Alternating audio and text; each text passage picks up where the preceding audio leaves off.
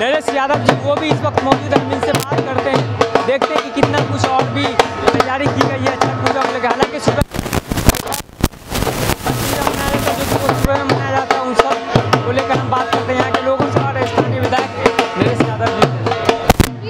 नरेश यादव जी अ, इस वक्त जो है यहाँ पे रजकोरी।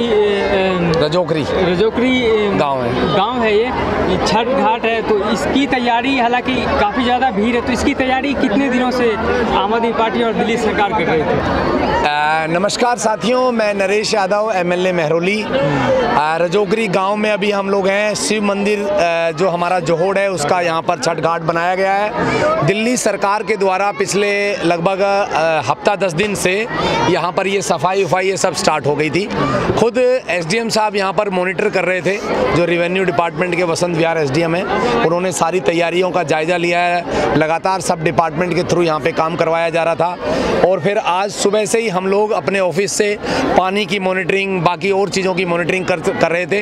लगातार हमारे यहाँ पर मदन पाल जी मुनीष जी और अपने जयदीप जी, जगदीप जी लगातार यहाँ पर सारे ईश्वर जी, सारे लोग देख रहे थे। यहाँ पर कोई ऐसी समिति जो पूर्वांचल की समिति है वो ऐसी समिति नहीं थी लेकिन उसके बावजूद भी ये जो छठ घाट है यहाँ पर देखिए कितना शानदार तरीके से मैनेज किया गया है। ये छठ घाट यहाँ पर ये मान लीजिए आप सब पूर्वांचल भाइयों के लिए गाँव के जो लोकल लोग हैं उनकी तरफ़ से ये लोग बनाया गया है। पूरी तरह से ईश्वर जी हैं यहाँ पर आइए ईश्वर जी ये लोग सब लोग कर रहे थे। तो इन लोगों ने लगातार यहाँ पर आगे साफ़ सफ़ाई कराई सारा वो किया सारा इंतज़ाम किया है पूरा का पूरा जबकि कोई समिति वाला सुबह की क्या इंतज़ाम है? अर्ली मॉर्निंग में भी सुबह का भी ये जो घाट बना हुआ है इसमें पानी का जैसे अभी पन्नी लगा के हमने पानी लगाया हुआ है क्योंकि ये जोहोड़ है ये वाटर बॉडी है तो इसमें इसको नीचे ज़मीन में कच्चा रखा गया है कि जैसे ये छठ का पर्व खत्म होगा।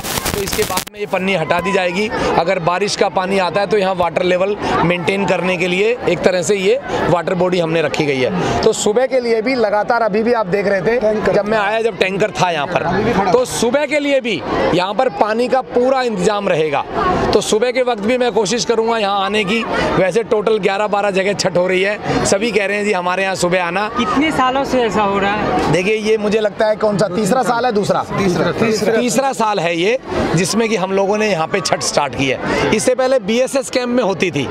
बीएसएस कैंप में भी हो रही है वहाँ भी अभी हम लोग चलेंगे आप लोगों के साथ में। भीड़ को देखते हुए जो है पुलिस प्रशासन की क्या इंतज़ाम की गई है? बहुत बढ़िया इंतज़ाम है। एसएचओ साहब खुद यहाँ पर मॉनिटर कर रहे हैं। मेरे मुझे अभी मिले थे जब मैं आया था। उनकी पूरी टीम यहाँ पर बैठी हुई है। अभी भी यहाँ पे जो बीट वाले अधिकारी हैं सारे यहीं पर हैं। और पूरी तरह से हमारी भी टीम प्रशासन की भी टीम दिल्ली पुलिस की भी टीम मिलके इसको पूरे के पूरे जो हमारा छठ महापर्व का इंतज़ाम है, वो देख रही है।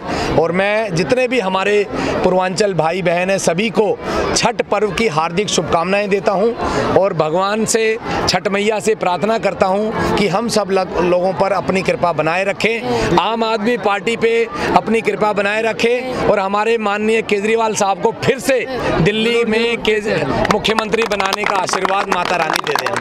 छठ मैया की, छठ मैया की। हुंकार ट्वेंटी फोर सेवन की टीम लगातार जो है छठ पूजा को लेकर महा कवरेज कर रही है। इससे पहले आपको जो है कि कहीं और अन्य जगह पर छठ घाट दिखाया था और इस, और इसके बाद जो है ये दूसरी जगह। अब आगे हम दूसरी जगह, आपको तीसरी जगह दिखाएँगे, छठ घाट और वहाँ की पूजा और वहाँ की व्यवस्था और किस तरह से लोग वहाँ पर पूजा कर रहे हैं। तो ये आप बने रहिए फ़िलहाल हुंकार ट्वेंटी के साथ। नमस्कार।